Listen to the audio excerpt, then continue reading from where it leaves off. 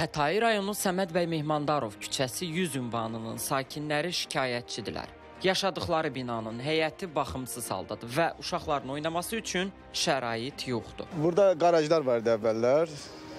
Hər bir qonşunun demək olar ki, qarajı var. Sökdürdülər ki, burada uşaqlar üçün əyləncə yeri, park, istirahət düzəldəcəklər. Gətirdilər torpağı tökdülər bura. Beləncə bir balaca hava külək qalxan kimi bütün tozu evlərdə olur, içəridə olur. Da hər yan daşlıqdır, tozdur, torpaqdır. Çıxırsan ki, çölə 5 dəqiqə havalasan, tozun torpağın içində qalırıq.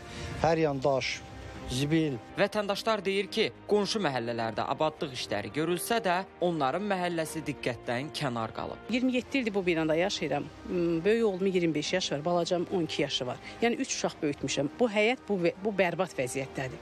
Yəni uşaqların oynamağa yeri yox. O binanın həyətini bax, çox gözəl elədilər, sağ olsunlar. Elə qəşəng, səliqəli. Bura gələndə niyə belə oldu biz də bilmirik. Bizi də yada salsınlar, gəlsinlər bu binamızın qabağını düzəltsinlər. Bir setka qoysunlar, uşaqların oynamaq üçün oyun yeri qoysunlar.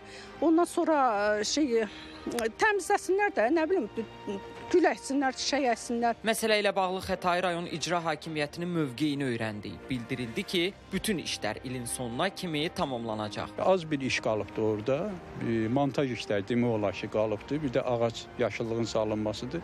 O da tez bir zamanda inşallah yaxın zamanlarda o məsələ həll olunacaq. Düşünürəm ki, inşallah e, ilin axırına qədər bu məsələlərin tam bitəcəkdir. Hər halda gözləməkdən başqa bir çarə yoxdur. Ümid edək ki, məhəlləyə qısa zamanda diqqət ayrılar və yarımçıq qalan işlər tamamlanar. Rövşən Tahir, Farid Cəlloğlu